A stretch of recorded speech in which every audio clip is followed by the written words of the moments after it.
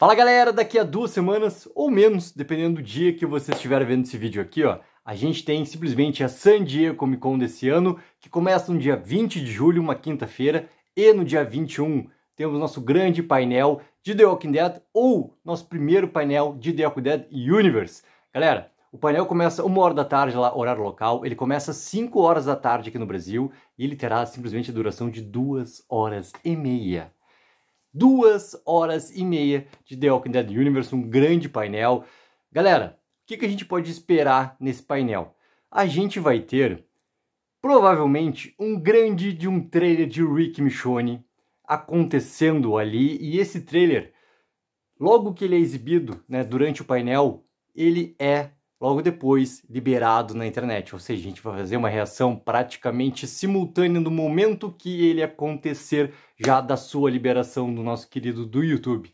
E também, cara, é óbvio que a gente vai ter um grande trailer ali de Daryl Dixon, que é muito importante também. O que, que a gente pode ter além? Cara, confirmação de segunda temporada de Dead City, confirmação daquilo que a gente já sabe que vai acontecer com a segunda temporada de Daryl Dixon e sabe-se lá o que mais, entendeu? O que, que vai acontecer depois de Rick Michonne no nosso universo de Walking Dead?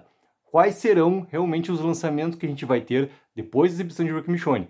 Além do que, a gente não tem a data confirmada exata da estreia da primeira temporada de Daryl Dixon. Óbvio que vai sair já na San Diego Comic Con.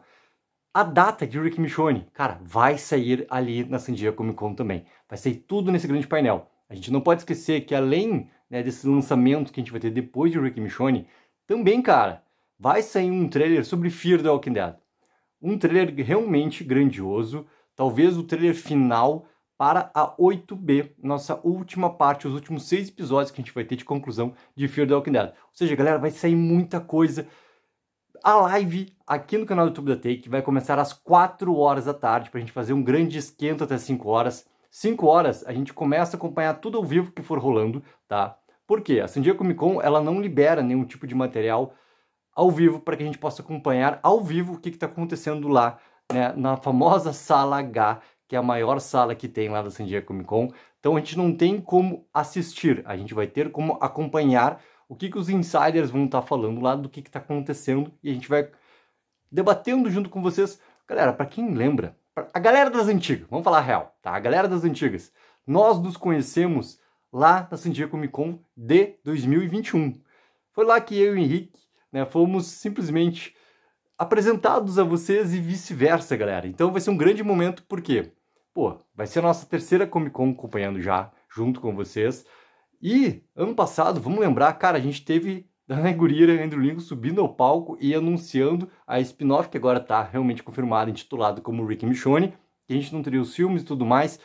Galera, a gente está chegando no nosso grande momento, nosso grande painel de The Dead Universe.